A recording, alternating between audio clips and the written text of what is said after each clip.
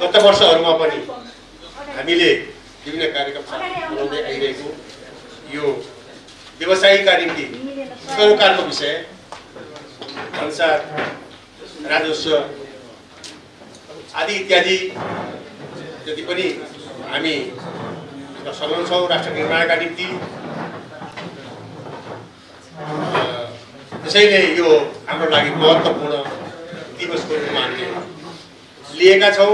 र विभिन्न कार्यक्रमहरू गरेर हामीले भन्सा दिवस मनाउने गरेका छौँ।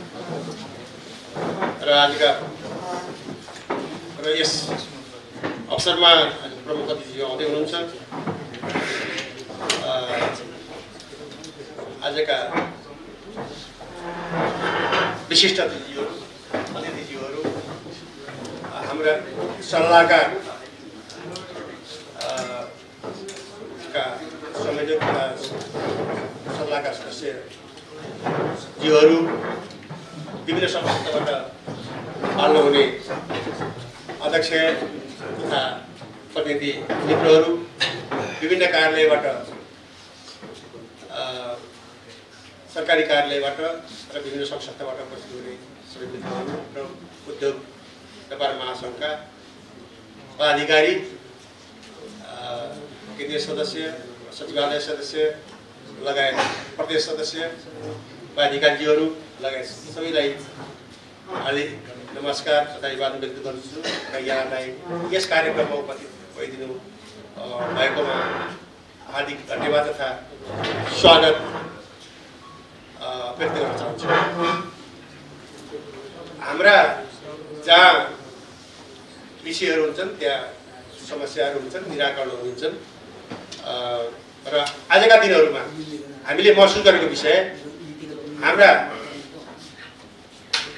नीति निर्माणका विषयमा हाम्रा समस्याका बारेमा र हाम्रा समस्याका समाधानका बारेमा विगत दिनदेखि सुझावहरू हामीले पेस गर्दै आएका छौँ। अर्थ मन्त्रालय र अन्य मन्त्रालय र विभागहरूसँग सम्बन्धित रहेका हरेक कार्यक्रमहरूमा हामी सहभागी भएर हाम्रा सुझावहरू हाम्रा दुखेसाहरू व्यक्त गर्दै आएका छौँ नीतिगतको परिवर्तनको बारेमा पनि हामीले सुझावहरू दिँदै आएका छौँ। र यो निरन्तर यो अगाडि बढ्ने प्रक्रिया हो। निरन्तर चाहिँ हामीले यसलाई विकास गरेर लानुपर्छ। समस्याहरूको समाधानका निम्ति। र हाम्रा समस्याहरू छन् विभिन्न सेक्टरहरूमा समस्या छन्।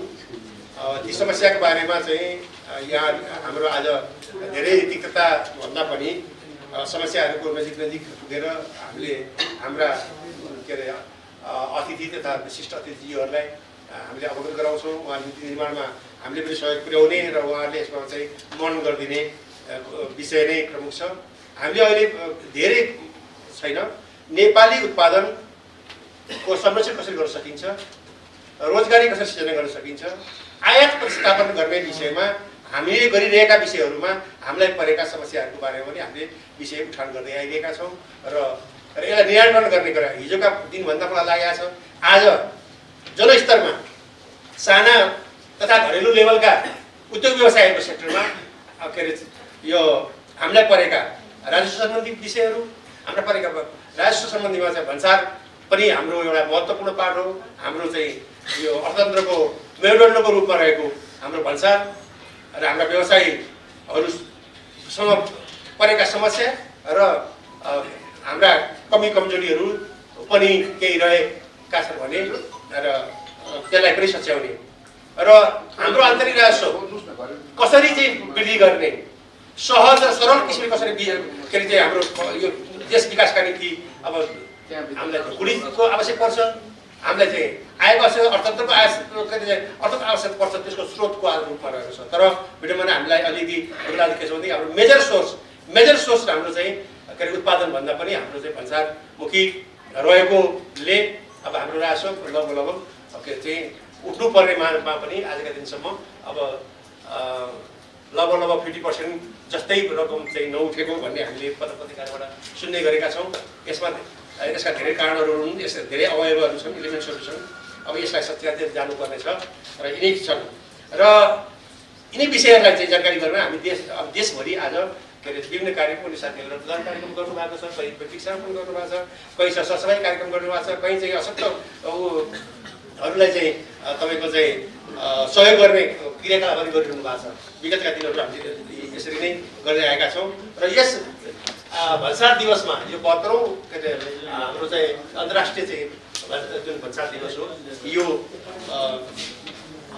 हामीले यसलाई अलिक व्यापकता बनाउने हाम्रा सामिप्यता रहने हिजोका दिनमा चाहिँ अब के अरे कर कार्यालय भनेपछि अब चाहिँ के अरे एउटा व्यवसाय तर्सनु पर्ने भन्सार भनेपछि तर्सनु पर्ने अवस्था सिर्जना नगरिकन अब हामीले यसलाई समस्याको समाधान गर्ने कुरामा चाहिँ हामी लागिरहेका छौँ र जहाँसम्म लाग्छ केही समस्या रहँदा अलि सहज हामीलाई हुँदै गएको छ अझै सहज बनाउनु पर्नेछ नीतिगत रूपमा पनि हामीले चाहिँ अगाडि लानुपर्नेछ यो यसै अब हाम्रो अर्थतन्त्रको अब हामीले हाम्रो उत्पादन वृद्धि गर्ने राज्यको स्रोत छ र मुख्यत हामीले अनुरोध गर्नुपर्ने यहाँ उत्पादन भइरहेका उत्पादनहरूलाई सहज बनाइदिने कुरामा।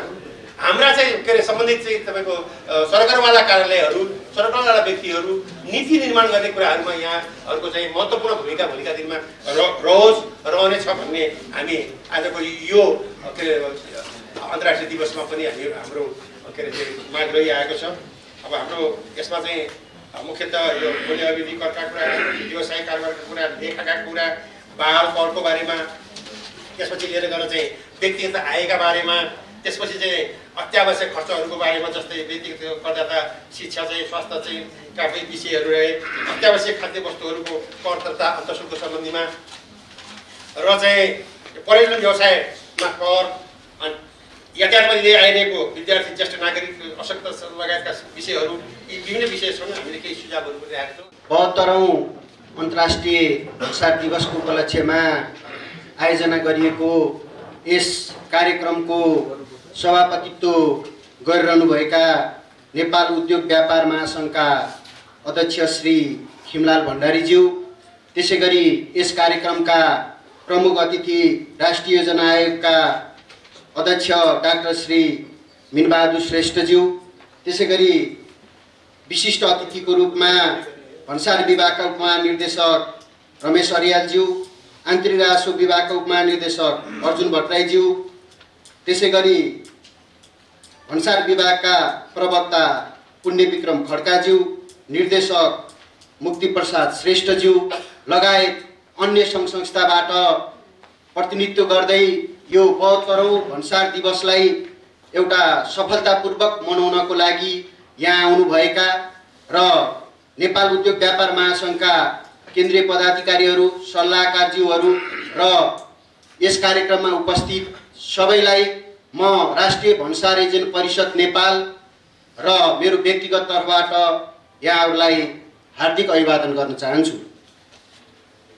हाम्रो म अलिकति थोरै भन्सार एजेन्ट र भन्सार र त्यसपछि व्यापारी वर्गहरू बिचको जुन हाम्रो भन्सार दिवसको रूपमा हामीले मनाइरहेका छौँ हामी भन्सार विभागमा भन्सार जाँच पासमा र नेपालको भन्सार प्रणालीमा सम्बद्ध भएका विभिन्न निकायहरूले भन्सार विभागसँग सहकार्य गरेर अन्तर्राष्ट्रिय भन्सार दिवस मनाउने गरिरहेका छौँ।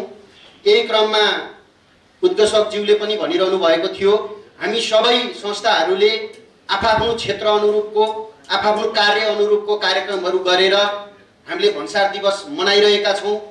अब यसमा अलिकति हामीले परिष्कृत गर्नुपर्ने कुरा के छ भने हामी यो कोठामा मात्रै अन्तर्क्रिया गरेर मात्र होइन हामीलाई जुन समस्या परेका छ परिरहेको छ व्यापारीलाई भन्सारमा त्यसै गरी हामी क्लियरिङ गर्ने जाँचबासमा संलग्न भन्सार एजेन्टहरू सम्पूर्ण सम्बन्ध निकायहरूलाई परिरहेको समस्या समाधान गर्न यो कार्यक्रम पश्चात यहाँ उठेका कुराहरू सम्बन्धित निकायमा पुगेर त्यसको निरूपण गर्ने प्रयासमा पनि हामी लाग्नुपर्छ। अब हामी विशुद्ध भन्सार एजेन्ट भएको कारणले हामी भन्सार एजेन्टहरू व्यापारी र नेपाल सरकारसँग अझ विशेष गरेर अर्थ मन्त्रालय अन्तर्गतको भन्सार विभागमा बाट हामीले इजाजत पत्र लिएर व्यापारी र भन्सारसँग एउटा पुलको काम गरिरहेका हुन्छौँ। भन्सार विभाग राज्यलाई बढीभन्दा बढी राजस्व सङ्कलन गर्नको लागि यो निकायको ध्येय हुन्छ।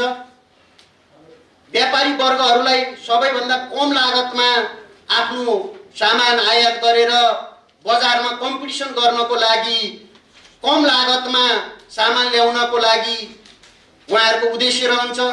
हामी यस्तो अवस्थामा रहेर काम गर्छौँ। यसको चाहिँ दुईटा भिन्न भिन्न स्वार्थ भएको। राज्यले बढी राजस्व उठाउन खोज्छ व्यापारी वर्गहरू कम राजस्वमा सामान ल्याउन खोज्नुहुन्छ। दुईटा फरक उद्देश्य भएकोलाई बिचमा हामी मिडि मिडिएटरको रूपमा काम गरेर आयात निर्यातमा नेपालको आयात निर्यातमा हामीले त्यसमा सहयोग गर्छौँ।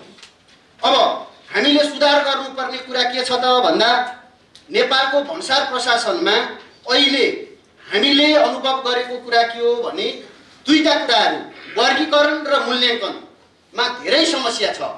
त्यो मध्ये यहाँ होइन उद्घोषकज्यूले भन्नुभयो वर्गीकरण। अझ मैले चाहिँ के भन्छु भने मूल्याङ्कनले नेपालको भन्सार प्रशासनमा व्यापारीहरूले धेरै दुःख पाइरहनु भएको छ। नेपालको भन्सार प्रशासनको मूल्याङ्कन डब्लुसिओको मापदण्डभन्दा विपरीत रूपमा गइरहेको छ। किन भन्दा यो मूल्याङ्कन यति विवादित विषयवस्तु छ एउटा आन्तरिक रूपमा भन्सार विभागको बेस रेटको एउटा खालको उहाँहरूको बेस रेट हुन्छ। अनि त्यसै गरी व्यापारीले आफूले खरिद गरेर ल्याएको पहमा इन्भाइस अनुसारको आफ्नो बिल बिजकको मूल्य हुन्छ। अनि त्यो कुरामा चाहिँ हामी भन्सार एजेन्टहरू व्यापारी त्यसै गरी भन्सारको अन्तर्गतको निकायहरूमा बेला बखत धेरै नै मत भिन्नता रहिरहेको हुन्छ। यसलाई चाहिँ एउटा एकरूपता गर्न जरुरी छ। यदि हामीले यो मूल्याङ्कनलाई एक हिसाबले लिएर गएनौँ भने जुन डब्लुसिओ अन्तर्गत नेपालले जुन किसिमको भन्सार प्रणाली गर्नुपर्ने हो त्यो हुन सकिरहेको छैन। अहिले जति पछि हुन्छ डब्लुसिएको मान्यता अनुसार यो भन्सार जाँच पासमा चाहिँ पेपरलेस फेसलेसदेखि लिएर गएर सबै कुराहरूलाई सहज गर्दै जाने र इम्पोर्ट र एक्सपोर्टलाई चाहिँ अलि बढी नै रूपमा चाहिँ एउटा देशको सरकारले त्यसलाई सहज बनाउँदै लानुपर्ने अवस्थामा व्यापारीहरू हामी काम गर्दाखेरि व्यापारीहरूको धेरै नै गुनासोहरू भेटिन्छ। यहाँ भन्सार विभागको उपमहानिर्देशक सरहरू हुनुहुन्छ। यहाँहरूले एकदमै हामीले पटक पटक कुराहरू उठाइरहेका छौँ। मूल्याङ्कनलाई एकरूपता गर्नु जरुरी छ। त्यसै गरी वर्गीकरणका केही कुराहरूमा पनि विशेष गरिकन विवादित कुराहरू छन्। त्यो भएको कारणले अनि एउटा यो जुन हाम्रो टाइम रिलिज छ टाइम रिलिज स्टडी हुन्छ र हामीले भन्सार विभागमा चाहिँ एउटा किसिमको टाइम रिलिज जुन वस्तु माल वस्तु चाहिँ भन्सारबाट छुट्ने टाइम हटाउँदै लाने ग्रिन रेड येल्लोमा चाहिँ ग्रिनलाई बढाउँदै लाने रेड च्यानललाई घटाउँदै लाने जुन भन्ने हाम्रो यो पञ्चवर्षीय योजनाको नीति छ। त्यो पनि हामीले सुधार गर्न सकिरहेका छैनौँ। ग्रिन रेड घट्दै गएर ग्रिन बढ्नुपर्ने ठाउँमा अहिले चाहिँ रेट बढ्दै गएर ग्रिन घटिरहेको अवस्था छ। यसले हामीलाई अन्तर्राष्ट्रमा हाम्रो त्यति राम्रो भन्सारको नेपालको इमेज जाँदैन। यसमा चाहिँ व्यापारीहरू पनि इमान्दार हुन जरुरी छ र त्यसलाई मध्यनजर गर्दै अर्थ मन्त्रालय भन्सार विभागले पनि बढीभन्दा बढी वस्तुहरूलाई ग्रिनमा जाने पेपरलेस र फेसलेसको रूपमा चाहिँ अगाडि बढ्नुपर्छ भन्ने मलाई लाग्छ र आज अब धेरै वक्ताहरू हुनुहुन्छ।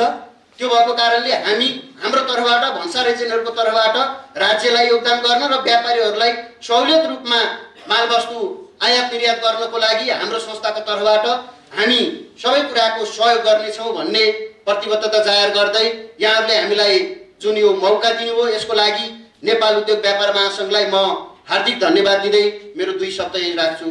हस् धन्यवाद नमस्कार। नेपाल उद्योग व्यापार महासङ्घका अध्यक्षज्यू प्रमुख अतिथि योजना आयोगका उपाध्यक्षज्यू भन्सार विभागका उच्चस्त पदस्थ अधिकारीजीहरू विभिन्न सङ्घ संस्थाबाट आउनुभएका उच्चस्त पदाधिकारीजी कार्य समिति सदस्य र उपस्थित सबै दिदी बहनलाई सबैलाई न्यानो अभिवादन। हाम्रो क्लिनिङ एजेन्ट एसोसिएसनको अध्यक्षजीले भनेको कुरामा म एउटा कुरा के भन्न चाहन्छु कि लगभग बिस पच्चिस वर्षदेखि म आफै बिजनेस गरिराखेको प्लस सङ्घ संस्थासँग आबद्ध भएको छु। हामीले के फिल गरेको कि भन्सारमा विगत पन्ध्र बिस वर्षमा धेरै सुधार भएको छ। पहिले भन्दा सबै काम कारवाही धेरै सजिलो भएको छ। पहिले भन्दा डिलिङ गर्नेलाई डकुमेन्टेसन पार्ट पनि धेरै सजिलो छ। त्यसको लागि भन्सार विभागलाई धेरै धेरै धन्यवाद छ। उहाँले धेरै राम्रो गरिदिनु भएको छ त्यसको लागि। पर ह्युमन टेन्डेन्सी छ दिल मागे मोर। जति पाएमा पनि अझ सुधारको खाँचो छ किनकि हामी जहिले पनि आफ्नो छिमेकीसँग इन्टरनेसनलसँग मिडियासँग कम्युनिकेसनसँग कम्पेयर गरिराखेका हुन्छौँ। जहिले पनि हामीले अझ राम्रो चाहिन्छ अझ बढियो चाहिन्छ। त्यसको लागि भन्सारमा भेलुएसन या मूल्याङ्कन एउटा यस्तो चिज छ जुन चाहिँ बिस तिस वर्षदेखि त आफै भोग्या हो। सायद मेरो बुवा या बाजेले पनि भन्सार लागू भएपछि यो विवाद कन्टिन्यू थियो जस्तो देखिन्छ। सो यसको लागि भन्सार विभागले यो कुरा चाहिँ जुन मूल्याङ्कन दरबन्दी जुन चाहिँ भेलुएसनको किताब जुन गरेर राखिराखेका छ यसले गर्दाखेरि भन्सारले जानी जानी इलिगल ट्रेडले लिगलाइज गरिराखेका छ। कारण कि हामीले अन्डर गर्छु त्यो भन्सारको सहमति छ किताबमा छ। हामीले ओभर इन्भोइसिङ गरेर नेपालको विदेशी पैसा विदेशमा राख्छु। त्यसमा पनि किन भेलुएसन त्यही छ भन्सारको सहमति छ। सो यो दुईटा कुरा भन्सारले आफ्नो सहमतिमा इलिगल ट्रेड प्रमोट गरेका छ सो यो कुरालाई कहीँ न कहीँ हट्दैन धेरै जस्तो हामी बुझेका छौँ। बट यो मिनिमाइज गर्नलाई भन्सारले प्रयास गर्नुपर्ने। अहिले दुई तिन दिन अघिको पत्रिकामा हामीले के हेर्या हो इम्पोर्ट घट्या छ यति पर्सेन्ट तिन पर्सेन्ट एक्सपोर्ट यति पर्सेन्ट घस्या छ भन्सारको राजस्व बढ्या छ। त्यसले के देखिन्छ? व्यापार कम भएर राजस्व बढ्नेको पछाडि दुइटै कारण छ। या त मान्छेले दुई नम्बर गरेका थियो भन्सारले रोकिदियो या भेल्युएसनले गर्दा या अरू चिजले गर्दा भन्सारले त्यही चिजमा बढी भन्सार लिएर आफ्नो टार्गेट पुगा पुरा भएन गभर्मेन्टको राजस्व पुरा भएन त्यो राजस्व पुरा गर्नलाई भन्सारले प्रयास गरेको सो यो दुइटै कुरा देशको लागि राम्रो छैन। यसलाई सहजीकरण गर्नुपर्ने दुई नम्बर चाहिँ व्यापारीले गरेमा पनि राम्रो छैन र भन्सारले पनि जबरजस्ती गरेर इनकेस पैसा उठाउँछ त्यो पनि राम्रो छैन। व्यापारीले पनि कुनै किसिमको दुई नम्बर गर्छ भएमा हामी संस्थागत रूपले कहिले पनि त्यो कुरालाई राम्रो मान्दैन देश सरकारको जो पोलिसी छ हामी त्यो फलो गर्छौँ हामी त्यो मान्न तयार छौँ हामी त्यसको समर्थन पनि गर्छौँ। पर साथै इनकेस सरकारले जबरजस्ती गरेर कुनै चिजमा पैसा उठाउँछ भएमा त्यो पनि कहीँ न कहीँ इलिगल भएको जस्तो देखिन्छ। पहिलेको जमानामा मेरो बुवा या बाजेको बेला हामीले मानेन भएमा हामीले दुई चार थप्पड पिट्ने कुरा राम्रो थियो टिचरले पनि त्यही गर्थ्यो। पर अहिलेको जमानामा इनकेस टिचरले बच्चाले पिट्यो या गर्यो भनेमा हामीले त्यो राम्रो मान्दैन। सरकारसँग पनि भन्सारसँग पनि यो रिक्वेस्ट छ। जुन यो ट्रेडिसनल जबरजस्ती पैसा नउठेपछि दादागिरी र पैसा उठाउने जुन तरिका छ या धेरै किसिमको नन टेरी ब्यारियर छ त्यसलाई कमसेकम अलिकति सजिलो गरिदिनु पर्यो सहजी गरिदिनु पर्यो। इनकेस सरकारको पैसा उठ्दैन भएमा तपाईँले ड्युटी बढाउनुहोस् या अरू चिज गर्नुहोस्। जबरजस्तीवाला काम चाहिँ नगर्नुहोस् कि त्यसले गर्दाखेरि पैसा उठाउने बिक्री बढाउने भन्सारको अधिकार छ। व्यापारीले पोसाउँछ भएमा सामान आयात गर्छ पोसाउँदैन भएमा आयात गर्दैन बरु दुई नम्बरमा आउला त्यो आफ्नो ठाउँमा छ। बट चाहिँ जबरजस्ती गर्दाखेरि राम्रो देख्दैन। अर्को कुरा वर्गीकरण पनि एउटा ठुलो विवादको विषय छ जुन लास्ट चार पाँच सालमा डेभलप भएको टेक्नोलोजी हो भन्सारबाट कि जता भन्सार बढी आउँछ त्यता वर्गीकरण गरिदिने। हामीले एउटा उदाहरण हेरे हो म सबैसँग सेयर गर्न चाहन्छु। दुई तिन वर्ष पहिले मान्छेले बिस्किट ल्याउँदाखेरि चक्लेट कोटिङ भएपछि भन्सारले चक्लेटमा त्यसको भन्सार लियो। दुई वर्षपछि एक वर्षपछि त्यसमा भन्सार बढेपछि होइन यो वर्गीकरणमा होइन अर्कोमा भन्सार बढिआयो अब अर्कोमा जान्छ।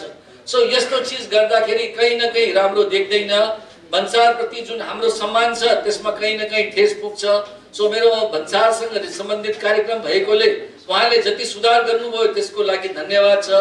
तापनि अब चाहिँ अझ समय साक्षेप सुधार गरिदिएमा सबै व्यापार गर्नलाई सजिलो हुन्छ र व्यापार बढेपछि भन्सारको राजस्व आफै बढ्छ। त्यसले गर्दाखेरि हामीले व्यापार बढाउनेपट्टि लाग्नु पर्यो व्यापार बढेपछि राजस्व पनि बढ्छ। देशमा खुसियाली पनि हुन्छ। सो त्यसकोपट्टि भएमा सबैले खुसी हुने हो र खुसी भएपछि भन्सारको राजस्व बढ्छ। देश पनि समृद्धि हुन्छ। यति भन्दाखेरि यो कार्यक्रमको सफलताको लागि एकचोटि फेरि शुभकामना गर्दैछु। धन्यवाद। भन्सार विभागका उपमहानिर्देशज्यू ज्यू अन्तर्राष्ट्रिय विभागका वरिष्ठ अतिथि आजका उपमहाज्यू र मञ्चमा आसिन सम्पूर्ण आदरणीय व्यक्तिहरू र यहाँ यस महासङ्घका सम्पूर्ण सल्लाहकारजीहरू र सम्पूर्ण आदरणीय सचिवहरूमा हार्दिक मेरो नमस्कार छ साथीहरू अग्रज बोल्ने साथीहरू धेरै कुरा भन्नुभएको छ आखिर जति डु लामो गाँठो बारे पनि डोरी बाटे पनि आखिर दुईवटा गाँठा भन्ने एउटा उहिलेको उखान छ त्यस्तै कुरा हो। हामी व्यवसायहरू अलिकति भन्साटेमा हामीले बारम्बार हामीले हाम्रो संस्थाबाट हामीले गएर यो मूल्याङ्कनको बारेमा र दरुन्दीको बारेमा धेरै कुरा गरेका छौँ। मूल्याङ्कन एकदमै बत्तिस सेन्टको सामानलाई पैँतालिस सेन्ट गरिएको छ र चालिस सेन्टको सामानलाई साठी सेन्ट गरिएको छ। ताकि तेत्तिस पर्सेन्ट बढी मूल्याङ्कन छ। धेरै सामान मूल्याङ्कन बढी छ। भन्सार विभाग गरेर हामीले स्याम्पल सहित लगेर दिएर छलफल गोष्ठीहरूमा हामी भाग लिएर भाग आएका छौँ। तर पनि यसको सुनाइ हुन सकेको छैन। यो कसरी भएन भनेको नीतिगतको विषय हो रा राज्यले राजस्व उठाउनुपर्छ र हामी व्यापारी व्यवसायले तिर्नुपर्छ। यो संसारकै नियम हो। र हामी तिर्न तयार छौँ। तर नेपालको स्थितिमा हेर्नुहुन्छ भने खुला नाका छ। नेपालको खुला नाका तराईबाट चाहिँ यति चाहिँ सामानहरू तपाईँ नेपालको सामानहरू चोरी भए भएर आएको छ। यो कुरो उहाँ हामीले भन्सार विभागमा अन्तर्राष्ट्रिय कार्यालयमा र हामीले सबै ठाउँमा यो कुरो हामीले जानकारी गरे गराउँदै आएको छ त्यो चोरीलाई निराकरण गर्ने निरुत्साहित गर्ने हो भने भन्सारको दरबन्दी गर्नुपर्छ र मूल्याङ्कन तथा मूल्याङ्कन मार्गो मोलभन्दा बढी मूल्याङ्कन लिनुपर्ने चाहिँ लिएर चाहिँ हामीलाई समस्या परेको छ हामीहरू। हामीले बत्तिस सेन्टको सामानलाई तब चाहिँ पैँतालिस सेन्ट र त्यस्तै इक्जाम्पलमै भने मैले त्यस्तो धेरै सामानहरू तब चाहिँ हामीले ल्याउनलाई गाह्रो भइरहेको छ। र यो चाहिँ पैसादार फेरि कहाँ राख्ने फेरि? चाइनामा पैसा राख्ने अथवा विदेशमा कुनै पनि ठाउँमा भारतमा पैसा राख्ने पैसादार राख्ने ठाउँ पनि छैन फेरि। त्यो पैसा बढी भएको पैसा त्यहाँ कसरी ल्याउने? नेपालले ल्याउने। त्यो एकदम गम्भीरता साथ सोध्नुपर्ने विषय आएको छ। हामीले धेरैपल्ट कुराहरू भन्यौँ। हामीलाई पचास हजार मूल्याङ्कन पर्ने सामानलाई सत्तरी असी हजार रुपियाँ हामीले चाहिँ सामान ल्याउनुपर्छ। त्यो तिस हजारको पैसा कसरी चाहिँ हामीले चाहिँ मेकअप गरेर यता ल्याउने? यो समस्याको जडको विषय भएको छ। एउटा कुरा अर्को कुरो के छ भने हरेक चिजमा तपाईँ चाहिँ डब्लुटिओ र साफ्टामा नेपाल गइसकेपछि यति भन्सार महँगो छ यति दरबन्दी महँगो छ। यो दरबन्दीको कारणले कारणले चोरी चोरी मा सामान आइरहेको छ एकदम यो जड कुरो भने मैले यहाँको बिचमा। यो गम्भीर कुरा मैले चाहिँ यति कुरा राखेँ तपाईँको यहाँको बिचमा। यदि सोधिदिनु भयो भने मात्रै तपाईँ चाहिँ भन्सार मूल्याङ्कन बढ्छ। जस्तै एक्जाम्पल भन्नु होला मैले युरोपमा तपाईँको युरोपभरि तपाईँ जर्मनमा सबभन्दा भन्सार दरबन्दी कम छ। करको दर कम छ। तर जर्मनले सिङ्गो तपाईँ चाहिँ युरोपका चाहिँ अठाइस उन्तिसवटा देश पालेको छ। किन त्यहाँ बढी चाहिँ फेयर हुन्छ त्यहाँ रक हुँदैन चोरी हुँदैन। त्यस कारण म यहाँ के भन्छु भने यदि भन्सारका दरहरू चाहिँ कम हुन सके दरबन्दी कम हुन सकेर हामीले यथार्थ मूल्याङ्कन हामीले मूल्याङ्कन घटीमा ल्याउनु पाऊँ भनेर हामी निवेदन गरेका छैनौँ यहाँहरूको बिचमा। हामीले मूल्याङ्कन चाहिँ ए भएको परेको मूल्यमा ल्याउनु पाऊँ भनेर भनेका छौँ। यो विषयमा चाहिँ जटिल विषय छ। मैले यतिमै यो विषयमा राखेँ। यहाँले सुनिदिनु हुने चाहिँ भन्सादेवको बहत्तर भन्सादेवको उपलक्ष्यमा अब आउने चाहिँ जुन मूल्याङ्कन गोष्ठीमा यहाँहरू सुनिदिनुहुन्छ भन्ने कुरा यो चाहिँ यहाँहरूको बिचमा विनम्र गर्छु म। साथै अरू कुरो एउटा हामीले नेपाल आर्थिक व्यवसाय महासङ्घ भनौँ अरू धेरै व्यवसाय साथीहरू भनौँ हामीले धेरै कुराहरू यो व्यापारको बारेमा मात्रै नभएर हाम्रो पूर्व चाहिँ गभर्नरज्यू पनि यहाँ हुनु- हुनुहुन्छ दिपन छेलज्यू म के भन्न चाहन्छु भने हामीले ब्याङ्कको ब्याजको ब्याज चाहिँ बहुतै चर्को म विषयमै गएको हो यो विषयबारे गएको होइन। ब्याङ्कको ब्याङ्कको ब्याजले गर्दा व्यापारीहरू धाराशायी भएका छन्। ब्याङ्कको ब्याज तपाईँ चाहिँ युरोप कुनै पनि देशमा तपाईँ चाहिँ चाइनामा तपाईँ चाहिँ तिन पर्सेन्ट ब्याज छ युरोपभरि तपाईँ तिन पर्सेन्ट ब्याज छ। र चाहिँ विश्वमा तपाईँ चाहिँ अ- अमेरिका क्यानाडा लगायत संसारभरिको देशमा तपाईँ चाहिँ तिन पर्सेन्ट चार पर्सेन्टभन्दा ब्याज छैन। तर नेपालमा बा छ सात पर्सेन्ट ब्याजमा एग्रिमेन्ट गरेर लगातार तपाईँ चाहिँ तिन पुस्ता बाजेका पालदेखिको नातिका पालासम्मको ल्याप चाहिँ हानेर ब्याङ्क ब्याङ्कहरू तपाईँको। तपाईँ चाहिँ ब्याज चर्को लगाएको कारणले पनि हामी व्यवसाय धाराशायी परेका छौँ। यो कुरो सुन्नेकोले हामीले विभिन्न फोरमहरूमा विभिन्न कुराहरूमा म- के अरे राष्ट्रपतिमा गएर पनि हामीले यो कुरा उठायौँ। र व्यवसाय धारसाय हुने काम र व्यवसायका घर जग्गाहरू लिँदै हुने कारण पनि यो ब्याङ्कको ब्याज चर्को ब्याज कारण भएको छ। पन्ध्र पर्सेन्ट नाफै छैन आम्दानी हुन्न। तर पन्ध्र सोह्र पर्सेन्ट। अझै पनि हामीले बल्ल बल्ल भन्दा भन्दा तेह्र पर्सेन्ट ब्याज छ अहिले। यसले गर्दा व्यवसायहरू ठुलो मा मारमा परेका छन्। ब्याङ्कको ब्याजको बारेमा पनि ठुलो मा मार परेका छन् र विश्वमा काहीँ नभएको तपाईँ जस्तो लासामा तिब्बतमा डेढ पर्सेन्ट ब्याजमा लोन दिन्छ। तर हाम्रोमा चाहिँ के छ भने नेपा- नेपाल नेपालमा चाहिँ तपाईँको यति महँगो छ तपाईँको ब्याज चर्को दर छ। यो दरले पनि आज हाम्रा बालबच्चाहरूले जस्तो दस लाख रुपियाँ बसेर लोन लिएर काम गर्छु भन्यो भने दस त्यहाँ तिस हजार रुपियाँ ब्याजमा हुन्थ्यो नि तिन तिस चार तिस तिन पर्सेन्ट हो भने। चार पर्सेन्ट हो भने चालिस हजार ब्याजमा हुन्थ्यो नि। तर हाम्रा व्य- व्य- व्यवसायहरूलाई यति चर्कोसँग चाहिँ तपाईँ चाहिँ ब्याज लगेको छ यो राज्यले अहिलेसम्म सुनवाई गरेको छैन। यापी राख्ने मान्छेहरू जो जो जो राख्नु भएको छ उहाँहरू सुती सुती तपाईँ घि- घि- घिउ खानु भएको छ। किन एफडीमा दस पर्सेन्टमा एग्रिमेन्ट ब्याङ्कले गरिन्छ। जति बढी एफडीमा चाहिँ पैसा फिक्स पैसा राख्यो त्यति चाहिँ बढी चाहिँ ब्याङ्कले ब्याज दिनुहुनेछ र यही यही त्यसरी पैसा राख्दा तपाईँको उहाँले चाहिँ धेरै ठुलो ठुलो संस्थाहरू संस्थाहरू मलाई कन्ट्री थाहा छ तर म अहिले यहाँ फोरममा नाम भनिन्न। ती संस्थाहरूदेखि लिएर व्यक्तिगत व्यक्तिगतदेखि लिएर सबैले पैसा खानेर व्यापारी व्यवसायहरूलाई चाहिँ चाहिँ मार ब्याजको मार चर्को ब्याज ब्याजको मार पारेर त्यो अर्को कारण छ कि हामी व्यापारीहरूलाई सिध्याउनु र नेपालको उद्योग र व्यवसायहरू फर्सन नदिने कारण जड जड एउटा अर्को मुद्दा छ यो। ब्याङ्कको केस छ। यो ब्याङ्कको केसलाई एफडीमा राख्ने मान्छेलाई जिरो गर्नुपर्छ। अरू देशमा त युरोपमा र अमेरिकामा हेर्नुहोस् एफडीमा राख्ने मान्छे चाइनामा हेर्नु तिन नजिक वारिपारि पारि चाइना छिमेकी देश हो हाम्रो। त्यहाँ एक अरब पैँतालिस करोड जनसङ्ख्या बस्छन् त्यहाँ। त्यहाँ तपाईँ त्यहाँ एफडीमा राख्ने मान्छेलाई एफडीमा पैसा राखे बापत उल्टो पैसा तिर्नुपर्छ। तेरो पैसाको मैले सुरक्षा दिएँ तेरो पैसा मैले राखिदिएँ। राखे बापतको पैसा मैले लिएँ भनेर उसले पैसा तिरेर त्यहाँ राख्नुपर्छ। ताकि त्यो पैसा उद्योग व्यवसायमा जस भन्ने कुरो राज्यको नीति चाहिन्छ। राज्यको नीति गलत नीति भयो। यसलाई सुधार्नुपर्छ। राज्यले त चाहिँ यो एउटै कुरा मात्रै दुईवटा कुरामै सुधार्यो भने नेपालका बालबच्चाहरू आज ताँतीका ताँत लाएर तब चाहिँ दिनका चाहिँ ताँत ताँत लाएर बच्चाहरू बिच जाएनन् कि उनीहरूले अप्सनै पार्न पैसै पार्नु लोन भयो भने लोनको चाहिँ बढी चर्को ब्याज। चर्को ब्याज घरबारी चाहिँ सबै हेर्नुहोस् तपाईँ कालो सूचीमा मात्रै हजारौँ मान्छेहरूको नाम लिस्टमा छ तपाईँ आज। ती मान्छेहरू आच्छे भएको छन् तराई तराई भएको छन्। कालो सूचीमा हेर्नु न हामीले कुरा उठाउँदा पैँतिस दिने सूचना दिएर ब्याङ्कले यति ठुलो अन्याय गरेको तपाईँको। पैँतिस दिने सूचना दिएर तपाईँ जनताको पैसा सम्पत्ति चाहिँ एक करोड सम्पत्ति चाहिँ दस लाखमा खान पाइन्छ। जनता मर्दैन जनता मरेको हुन्थ्यो त्यस्तो किसिमको एउटा कालो नियम छ। हामीले भन्यो एक वर्ष कम्तीमा पनि लिलामी गरे हो भने गर बाबा बैङ्कको ब्याज तिर्नुपर्छ। तिर्नु पर्दा तिर्नु हुँदैन भनेको हामीले भनेका छैनौँ। तिर्नुपर्छ तर त्यो लिलामी गर्ने हो भने एक वर्षको म्याच चाहिन्छ। एक वर्षसम्म चाहिँ तैँले ब्याज त्यो साउन्ड चुक्ता गरेस् भने ब्याज ल्याइस् भने त्यो लिलामी हुन्छ भनेर भनिदिनुपर्छ आज पैँतिस दिने सूचना टाँसेको छ। हामीले भन्दा भन्दा बल्ल बल्ल फोटो चाहिँ हटाएको छ। फोटो राखेर पहिले फोटो राखेर तब चाहिँ फोटो चाहिँ हटाएको छ। यसले गर्दा म के भन्न चाहन्छु भने यी कुराहरूले गर्दा पनि व्यापार व्यवसायमा ब्याङ्कको ब्याज चर्को ब्याज र चाहिँ ब्याङ्कले गर्दा चाहिँ बसी बसी खाने मान्छेहरूले ब्याज लिएर खाने र उद्योग व्यवसायमा पैसा न नघुम्ने अब यहाँ अरू कुरो के भन्छ भने तपाईँ यो पैसा फेरि कहाँ जान्छ भनेर ब्याङ्क कोही साथीले भन्नुहुन्छ भने पैसा अन्त जान्छ पैसा गाबिन्छ पैसा गाडिन्छ भन्छ भने त्यसको पनि एउटा सोल्युसन छ। त्यो पैसा बाहिर गयो भने नोट त कहीँ जाएन नि नेपाल नोट। नोटबन्दी गऱ्यो भने ठिकै हुन्छ तपाईँको नोटबन्दी गऱ्यो भने यदि त्यो पैसा बाहिर गयो भने नोटबन्दी गरिदियो भने तपाईँको त्यो पैसा जम्मै ब्याङ्कमा आउँछ घर घर आउँछ ताँतलेर आउँछ। बोरा बोरा पैसा ब्याङ्कमा आउँछ। त्यो कुनै फिर मान्नु पर्न। यहाँसम्म के भन्न चाहन्छु भने हामीले त चाहिँ व्यापार व्यवसायमा हामीले धेरैतिरबाट प्रार भएको कारणले घरबाट चर्को छ। आज घरबाट तपाईँ चाहिँ यति महँगो छ महँगो तपाईँको चाहिँ हामीले घरबाटको पनि घरबाट पनि हामीले वैज्ञानिक हिसाबमा घरबाट हामीले चाहिँ लिन दिन सकेका छैनौँ। आज घरबेटले अब घरमा घरबेटले चाहिँ आज यति अलिकति चल्यो व्यापार चलेको थाहा पायो कि तपाईँ चाहिँ घरबेटले चाहिँ व्यापारलाई चाहिँ अलिकति तपाईँ चाहिँ चल्यो कि उसले बढी दिने यति डबलले अर्को बस्छ अर्को भन्ने कुरा छ। म धेरै कुरा खान चाहन्न आजको भन्सार यो भन्सार दिवसको चाहिँ जुन चाहिँ यो कार्यक्रम छ अति नै उहाँहरूका बिचमा हामीले सुनाउन पाउँदा उहाँलाई उहाँहरू भनेको हाम्रो अभिभावक हो। हामीले उहाँलाई सुनाउनुपर्छ उहाँले सुनिदिनुहुन्छ भन्ने आशा राख्छौँ। भन्सारका दरबन्दीहरू आज घट्ने भने भन्सार करका दरहरू पनि बढी छन्। करका दरको बारेमा सानो अब करको दिशा पनि भइसकेको कारणले म के भन्छु भने करको दर यही चाहिँ करका दर धेरै महँगो भयो। उन् छत्तिस पर्सेन्ट जस्तो चाहिँ के अरे इन्टर इन्टरप्राइजलाई छत्तिसदेखि तपाईँ चाहिँ उन्चालिस पर्सेन्टसम्म छ। उन्चालिस पर्सेन्टले तिर्न गएर मान्छेहरू विभिन्न छलछाम गरेर खोज्छ मान्छेले। तिनवटा फर्म बनाउने चारवटा फर्म फर्म बनाउने गर्छ।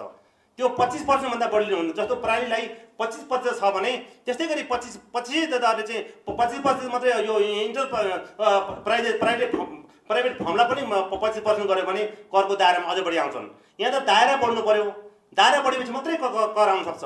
मैले अहिले जर्मनको इक्जाम्पल दिएँ। दायरा बढेन भने करको दर बढ्दैन। करमा चाहिँ मान्छेहरू चाहिँ बढी एक लाख कमाएकोमा चालिस हजार रुपियाँ चाहिँ कर तिर्न सक्ने त्यस्तो किसिमको जनता छैनन्। त्यो चाहिँ त्यो चाहिँ बुझ्नुपर्ने जरुरी छ। त्यसले गर्दा करका दरहरू केही समाधान होस् र व्यापारी व्यवसायहरूले सहजताहरू भन्सार तिर्न सक्ने र कर तिर्न सक्ने वातावरण बनाओस्। आजको यो बहत्तरौँ भन्सार दिवस अन्तर्राष्ट्रिय भन्सार दिवसको दिवसको उपलक्ष्यमा यहाँ हामीले नेपाल राष्ट्रिय व्यवसाय महासङ्घ बोलाएर यहाँ दुई शब्द राख्नु दिनुभएकोमा र उहाँलाई यो कुरो सुनाउनु मलाई धेरै खुसी लागेको छ। यही शुभकामना दिँदै मेरो आफ्नो छोटो भनाइ टुङ्गाउँछु धन्यवाद नमस्कार। कार्यक्रमका आदरणीय अध्यक्ष खिमलाल सर कार्यक्रमका प्रमुख अतिथि राष्ट्रिय योजना आएका उपाध्यक्षज्यू र यो कार्यक्रममा उपस्थित हुनुभएको सहभागी हुनुभएका नेपाल सरकारका विभिन्न पदका पदीय दायित्व निर्वाह गरिरहनुभएका र हाम्रा उद्योगी व्यापारी साथीहरू। धेरै कुराहरू प्रवक्ता साथीहरूले भनिसक्नु भएको छ। मैले भन्सारका केही दर रेटका बारेमा पनि उहाँहरूले राम्ररी नै केलाउनु भएको। महासचिवले त अझ उहाँले भोग्नु भएका कुरालाई नै दोहोऱ्याउनु भएको छ। मैले राष्ट्रिय योजना आयोगका उपाध्यक्षजीलाई नै मैले ध्यान आकर्षण गराएँ किनभने अब आउने वर्षको बजेटको तयारी हुँदैछौँ। हामी बजेट बनाउनको त तर्खरमा छौँ र त्यो बजेटको जुन हामी निर्माण गर्ने क्रममा हुँदाखेरि भन्सारका दर रेट करका दर रेटका बारेमा पनि पुनर्विचार गर्नुपर्ने देखिएको छ। मैले अलि यहाँलाई ध्यान आकर्षण गराउन चाहेँ कोभिडको अवस्थामा नेपालमा कोभिड होइन विश्वमा नै कोभिडले मतलब असर पारिरहेको थियो र मान्छे को बाँच्ने को मर्ने भन्ने अवस्थामा दुईवटा कुरालाई बढी ध्यान दियो एउटा मास्क लाउनु पर्यो होइन। मास्क लाउनु पर्यो भनेर विदेशबाट छ्याप छ्याप्ती मास्क यहाँ नेपाल आइ मास्क आइरहेको थियो। तर नेपालमा उत्पादित गरेका मास्कको जुन र मेटेरियल छ त्यो विदेशबाट आइरहेको। अघि उहाँले भने जस्तै त्यो मास्क एक एक डब्बा मास्कको पैँसठी रुपियाँ मात्रै पर्ने र हाम्रो देशमा उत्पादन गर्दाखेरि दुई सौ दस रुपियाँ पर्ने त्यो त्यति बेलाको मूल्याङ्कन भएको। मैले यो कुरा त्यति बेलाका तत्कालीन सरकारलाई अनुरोध गरेँ र यसलाई पुनर्मूल्याङ्कन हुनुपर्छ भन्ने त्यति बेला मतलब सरकारले पनि त्यसलाई बुझ्यो र नेपाली उद्योगीहरूलाई अलिकता जसरी भए पनि उद्योग गरिरहेको त्यसलाई प्रोत्साहन गर्नुपर्ने सट्टामा निरुत्साही नगरौँ भनेर नेपाल सरकारलाई पनि हामीले पटक पटक त्यो ध्यान आकर्षण गर्दाखेरि त्यति बेला केही फरक पर्यो। म हिजो अस्ति एउटा हाम्रा महिला दिदीबहिनीहरूले ल्याउने लगाउने अहिले सेनेटरी प्याडको बारेमा म ध्यान आकर्षण गराउन चाहन्छु। सेनेटरी प्याड अन्य देशबाट जुन त्यसका र मेटेरियल ल्याउँदाखेरि अघि हाम्रा महासचिवजीले भनेअनुसार कुर्सीको रेट जस्तै छ।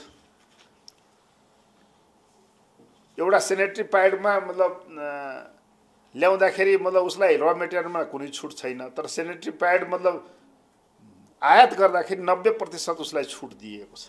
यो कसरी मतलब यहाँ नेपालको उद्योगहरू कसरी सञ्चालन भइरहेको छ यसलाई बुझ्नुपर्ने जरुरी छ। मैले अँ, माननीय मतलब यहाँ राष्ट्रिय योजना आयोगका उपाध्यक्षजीलाई नै मैले ध्यान आकर्षण गराउन चाहेँ। हामी दुई तिनवटा अझ उदाहरण म दिन चाहन्छु।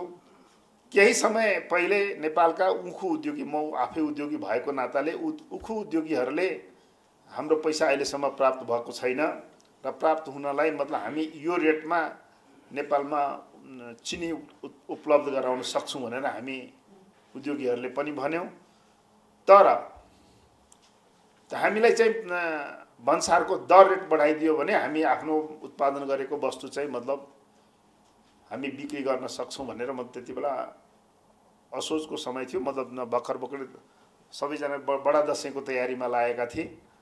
मलाई लाग्छ नेपाल सरकारले त्यति बेला मतलब भारतबाट या अन्य देशबाट आउने चिनीलाई रोक लाउने हिसाबले अघि एकजना मित्रले भन्नुभयो भन्सार रेट बढाइदिनुपर्छ भने मैले त्यसलाई जोड्न खोजेको हो। भन्सार रेट बढाइयो र त्यसको परिणाम के भयो भने उन्साठी रुपियाँमा दिने चिनी एक सय पाँच रुपियाँमा बिक्री भयो नेपालमा। तराई क्षेत्रका जति पनि साथीहरूले पाँच किलो चिनीसम्म मतलब आफैले बोकेर ल्याउने गर्ने खुला सिमानाको कारणले। तर यो काठमाडौँमा हाम्रा मान्यजीहरूले नै हाउसमा पनि यो कुरा उठाएको एक सय पाँच रुपियाँमा चिनी किने उन्साठी रुपियाँको चिनी एक सय पाँच रुपियाँ किन्नु पर्यो भनेर। मैले यो किन जोड्न चाहेको भने हामीले भन्सारको दर रेट पनि डब्लुटिओमा गइसकेपछि एकैचोटि ब्यान्ड पनि गर्नु हुँदैन र दर रेट पनि एकैचोटि हाई पनि गर्नु हुँदैन। त्यसलाई कतै न कतै मतलब चोरी निकासीको लागि हामीले बढावा दिने होइन। समसम गरिदिएको खण्डमा आवश्यकता अनुसार ने नेपाल र भारतमा चाहिँ छिमेकी देशहरूको जुन दर रेट छ त्यो दर रेटलाई समसम गरिदिएको खण्डमा धेरै चोरी निकासी पनि यो खोला सिमाना हामी भन्छौँ खोला सिमानाको कारणले भइरहेको छ। तर हाम्रो बसमा छैन खोला सिमाना। हाम्रो नेपाल सरकारको जुन अहिलेको आर्थिक स्थिति छ यसलाई हामीले खुला सिमानालाई हामी ब्यान्डेड गर्न हाम्रो देशले अहिले सक्छ भन्ने कुरा मलाई लाग्दैन। तर हामी यही परिवेशमा बाँच्नु छ र भोलिको दिनमा यी भन्सार दर रेटहरूलाई करको दर रेटहरूलाई मैले भन्नै पर्छ। म लघु घरेलु साना उद्योगीहरूको प्रतिनिधिको तर्फबाट मैले र मेटेरियलमा लागेको भन्सार र तयारी वस्तुमा लागेको भन्सार यसलाई पुनर्विचार गर्नुपर्छ भन्ने कुरा अघिका पूर्वक्ता साथीहरूले पनि भने र मैले पनि भन्न चाहन्छु र हामी अब आउने दिनमा यो चोरी निकासी नहोस् चोरी चोरी पैठारी नहोस् भन्ने वातावरण कसरी निर्माण हुन सक्छ त्यसको लागि सबै तर्फबाट मलाई लाग्छ कि यो भन्सार रेट नै बढाएर नै देशको राजस्व आउँछ भन्ने कुरा जुन सोच छ यो सोचलाई परिवर्तन गर्नुपर्ने जस्तो मलाई लाग्छ। त त्यो चाहिँ मिल्दोजुल्दो होस्। छिमेकी भारतमा दस रुपियाँमा पाउने सामान हामी कहाँ मतलब पैँतिस रुपियाँमा पाइन्छ भने त्यो अलिकति गाह्रो छ। म गाडीकोमा पनि भन्सार रेटको बारेमा भन्न चाहन्छु। हामीले यहाँ गाडी किन्न गयौँ भने यहाँको रेट र भारतमा निर्मित चा अन्य देशमा निर्मित त्यो त्यो गाडीको रेट हेऱ्यौँ भने अन्तर्राष्ट्रिय स्तरको धेरै कुरा मतलब यहाँ फरक भएको छ। हामीले अरू कुराहरू अन्तर्राष्ट्रिय लेभललाई मतलब अन्तर्राष्ट्रियलाई कपी गर्ने तर यो दर रेटमा भन्सारको दर रेटदेखि करको दर रेट चाहिँ ब्याज दरको बारेमा पनि अघि साथीहरूले भनेर जानुभयो। यसलाई कपी गर्न सकिन्छ कि? मल मलाई लाग्छ हाम्रा उपाध्यक्षज्यू धेरै देशका अनुभव बटुल्नु भएको छ। हामीले धेरै ठाउँमा उहाँसँग काम गर्ने अवसर पाएका छौँ। मलाई लाग्छ यसपालिको राष्ट्रिय योजना आयोगले आउने वर्षको लागि जुन बजेट निर्माण को जुन प्रक्रिया सुरु गरिरहेको छ यी कुराहरूलाई धेरै कुराहरू मध्यनजर राखेर बजेटमा पनि देशलाई कसरी जुन आर्थिक क्राइसिसमा बाँचिरहेको यो देश यसलाई कसरी हामीले अगाडि बढाउन सक्छौँ? हामी उद्योगीहरू हामी व्यापारीहरूको जुन अहिलेको जुन अवस्था छ ब्याङ्कको दर रेटहरूको कारणले हामी धाराशाही भएका छौँ। एकातर्फ ब्याङ्कमा पैसा थुपारिरहेको छ भने हामी ब्याङ्कबाट पैसा लिने अवस्थामा छैनौँ। म भन्न चाहन्छु के हुन्छ भने म्युचुअल अन्डरस्ट्यान्डिङमा कुनै पनि सम्झौता म्युचुअल अन्डरस्ट्यान्डिङमा हुन्छ। सात पर्सेन्टमा दर लिएको ब्याज अहिले तेह्रदेखि सत्र पर्सेन्टसम्म मतलब जुन ब्याङ्क तथा वित्तीय संस्थाहरूले जुन गरेको मनमानी यो चाहिँ मतलब एकदमै राम्रो होइन त्यसका कारणले आज देशभरिका साथीहरूले आत्महत्या गर्नुपर्नेदेखि लिएर कार्यसूचीको कुरा पनि यहाँ अहिले घर लिलामदेखि लिएर धेरै कुरा यस्तो समस्या भोग्नु परेको छ। मैले भन्नै पर्छ यस्ता कुराको लागि आउने वर्षको अब हामी कोभिडबाट मतलब अगाडि बढिसकेका छौँ। अगाडि वर्ष भुइँचालोले पनि मतलब हामीलाई अप्ठ्यारो पारे हुन त यसपालि पनि भुइँचालो आएकै छ। तर त्यो भुइँचालोको लागि पनि हामीले सचेत भएर अगाडि बढ्नुपर्छ र नेपाल सरकारको लागि थिङ्क ट्याङ्कको रूपमा राष्ट्रिय योजना आयोग भएको हुनाले राष्ट्रिय योजना आयोगले आउने दिनहरूमा उद्योगीहरूलाई परेका मार्का व्यापारीहरूलाई परेको मार्कालाई पनि मध्यनजर गरेर आगामी दिनमा आफ्नो कदम चाल्नेछ भन्ने कुरा राख्दै यहाँहरूको बिचमा आजको यो कार्यक्रमको पूर्ण सफलताको कामना गर्दछु। धन्यवाद। जय उद्योग जय उद्योग।